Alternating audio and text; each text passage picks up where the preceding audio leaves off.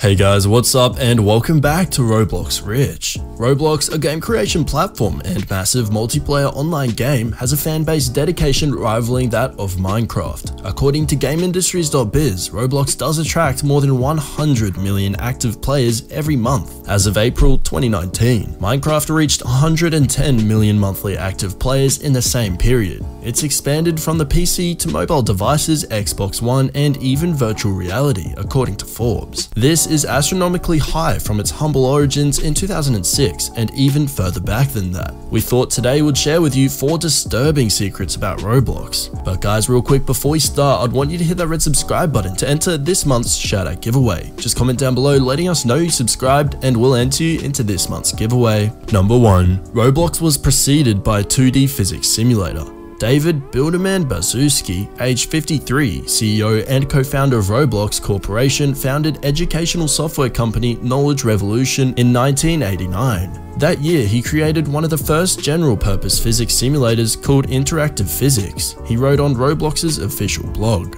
General-purpose physics simulators are where all of the objects in a simulation are simulated, and were originally used in mechanical engineering. Knowledge Revolution later created a 3D simulator called Working Model, which could simulate complex mechanical devices like motorcycles or copy machines. Both programs won many awards, Roblox would go on to have its own general purpose physics simulator scaled to thousands of parts.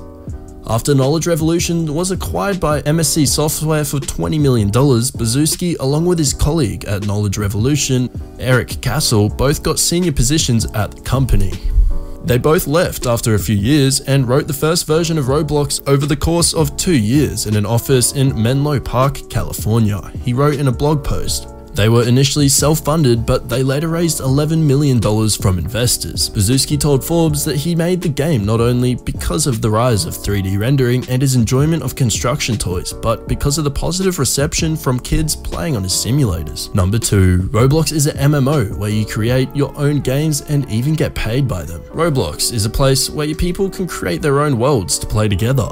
Games cover a wide variety of genres, ranging from competitive shooters, obstacle courses, and social hangouts. Games can be created by dragging and dropping things in the Roblox studio or by writing in Lua, Roblox's coding language, for more advanced functions. There are several tutorials on the game's YouTube channel. Baszucki told Forbes that one of his favorite games is Natural Disaster Survival by user Stickmaster Luke, where players are transported on an island in the middle of the ocean and try to survive meteor showers, lightning storms, and more. At the time of making this video, it has over 339 million visits since it was created in 2008. The game is free to play, but you can spend real money for Robux, the game's currency, which you can use to buy cosmetic items and perks in certain games. For example, in Superhero Tycoon by Fire Breathing Dragon 6 and Faded Paragon, you can spend money to double your cash earned in the game. Robux can be purchased in packages ranging from 400 Robux for $5 to to 22,500 Robux for $199.95. There's also the option to upgrade to a Roblox Premium account, with a monthly subscription starting at $5.95 a month, and it grants users at removal the ability to sell gear, bonus gear, access to the trade system,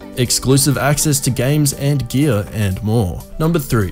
Roblox had its own conventions. Roblox has had a number of special events, both virtual and in real life. Roblox held its first convention, Roblox Rally 2011, at the Exploratorium in San Francisco, California on August 1st, 2011. Fans could meet up to share ideas, ask questions to the Roblox staff, learn about creating games, win prizes, and learn about future updates to the game. Roblox also held the Roblox Game Conference 2012 at the Santa Clara Convention Center on July 14, 2012, and BloxCon 2013 at the Museum of Science and Industry in Chicago, Illinois, the Royal Air Force Museum in London, England, and the Intrepid Sea, Air and Space Museum in New York City. A virtual convention known as Virtual BloxCon 2013 was held for all players who couldn't attend previous conventions. Since then, Roblox has held Roblox Developers Conference starting in 2015. Roblox developers received a preview of the latest tech for the game, tips and tricks for building games, and a chance to deliver feedback directly to the Roblox team. Roblox also held an Easter egg hunt in the game starting in April 2008. According to the wiki, the event began with eggs dropping from the sky in a game, with players receiving eggs as cosmetic accessories if they find it. Since 2012, the event turned from an egg drop to an Easter egg hunt, with players going to a single game to find eggs. The 2013 egg hunt was the first game to get over 10,000 concurrent players, as well as the first game to get over 1 million place visits in a week. This is according to the wiki. Number 4. Some Roblox users have become famous.